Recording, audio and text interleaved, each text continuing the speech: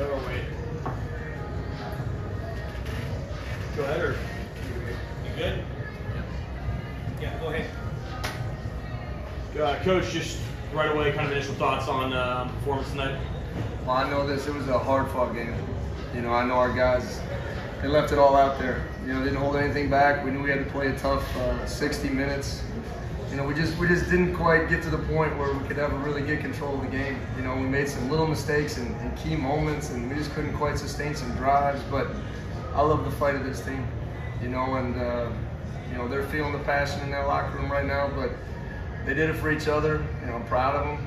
Um, we didn't play our best game, but that's uh, credit to USC. You know, they're, they're, they're a good football team, and I think they showed that they're a complete team. It seemed like USC did a good job kind of taking away the middle of the field for you know for the Cougar grade. Um, was that kind of uh, what you saw, or was it just not there for you?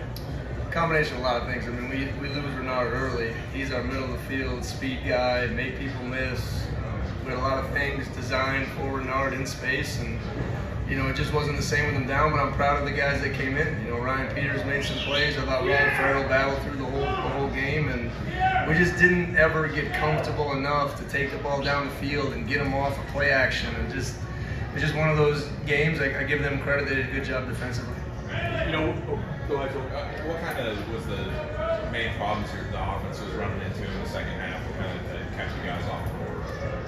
like I said, just that first down success. I mean, we just haven't had an opportunity to just keep things moving and play with tempo and, you know, just little things here and there. It's never one thing. You know, I thought our protection for the most part was solid. Um, but break down at times, and you know, Cam made some plays, and we got to stay on our reads, and we got to trust some of the runs, and you know, the run game and the explosive runs were what was the big story of the second half, and, and they allowed us to maintain some momentum throughout the game, but it wasn't enough to really punch it in and finish, and we just didn't get you know, those big drives going in the second half. Uh, defensively, though, I, you know, after those first two USC drives and they're kind of marched out, what, maybe adjustments you guys made with what areas do you think you started? Know, we talked about coming in the week. I, I think uh, Coach Riley and USC is as good as it is in attacking what you do. And, uh, you know, kind of saw us playing a little bit and then just had to adjust. And it was never perfect, and we were constantly adjusting throughout the game. I just, there's an effort to this team right? There's a heart to this team. I think that's what you saw really on both sides of the ball. But you know, defensively, they never quit. They got some red zone stops. They could have turned ugly there, kept us in the game. You know, just proud of all those guys and, and how much they fought today. Coach, um, I know pretty quick after the game, but anything on, on Nakia, Renard, and Armani? It's hard. we, we ended up uh, losing a lot as we kind of kept going through it. So we'll kind of see what uh, what happens when we get back there, but nothing right now You know you guys are top 20 in the, you know avoiding penalties this year, 11 of them, and you know Questionable ones. How maybe it when you see can't catch break when you're seeing calls.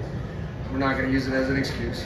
You know, it was. We just we made some mistakes in, in you know key critical situations that really hurt ourselves. I mean the the red zone opportunity, you know, lining off sides twice, jumping off sides in the third down all things that we kind of knew that they were going to do. It's just those are little things, and you know, a lot of the penalties. I'll, I'll take aggressive penalties. I'll take within the whistle, cutting it loose, playing fast and aggressive, and I'll, I'll get a chance to look at a, a bunch of those and um, the operation of the game and, and the refs. We'll we'll kind of sort that out as we go.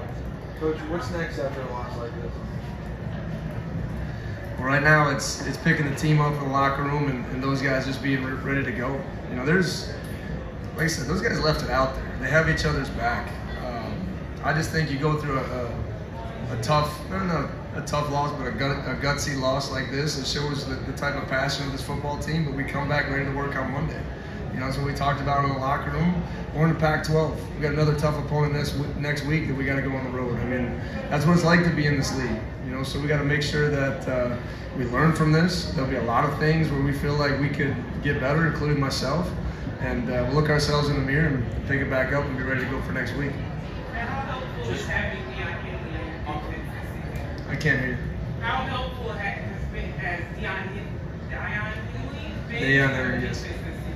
Daiyan's been everything, you know, and uh, I really appreciate Daiyan today. There's a lot of emotion for this game. You know, even when he said he was coming, you know, the new NIL, I mean, there was a lot of things that uh, that other team did to try to get him to come here and he kept his emotions.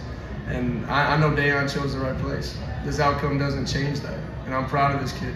You know, he fought the whole game. I mean, this was uh, it's an emotional deal for him, I think he showed a lot of maturity. And you know, I'm proud to have him on our team. I'm proud to you know fight with him, and I, I thought he was uh, as advertised today. The last one. Uh, Coach, uh, Jalen Jenkins really, really exploded. Uh, it- obviously, his best game of his young career. Just what did you see from him? Is kind of that maybe that coming of age game? Um, you know, and probably the, the biggest spotlight he's played in. Really proud of Jalen. Really proud. And I, I told him I told him the day coming into the game, you're gonna make a big play. And he went down there and did it on the pass, and he just lit up with a smile on his face, and he just played ball. That's what he knows how to do. But you see the type of game-breaking speed he can have in the open field, and there's been glimpses of it this year. But then now for him to you know get his knees up and break some of those tackles and go, I mean, it was a a great performance by Jalen and one that he has worked hard to get to this point and to do it on this stage. I mean, he's never flinched. Playing as a true freshman, he's been ready to go since day one, and I think this is just another step in his journey. And and uh, as we keep going, we got to make sure that he's ready to go. It seemed like you guys were able to contain uh, Caleb Williams uh, relatively well and hold him to you know, not a super efficient game. And how were you able to do that? And did they kind of change their style also? It's the same thing coming in. Like it's you watch the tape, he's so dangerous when he scrambles, and we weren't able to pin him in there. You know, and uh, to his credit, I mean he's a great quarterback, but you can make him stand in there and throw the ball, you feel like you have a chance. And I know that's a weird thing to say, and that's not a knock on him. That's not. It's just what you need to do because he's so dangerous when he gets out there as a runner. And uh, you know, hats off to him. He's a great player. He made a lot of great big time plays, what uh, big time players do in those situations. So I give credit to them, but uh, you know, we had him a couple times and he just got away. All right, coach. Thank you. Thanks, Coach. All right, thanks guys.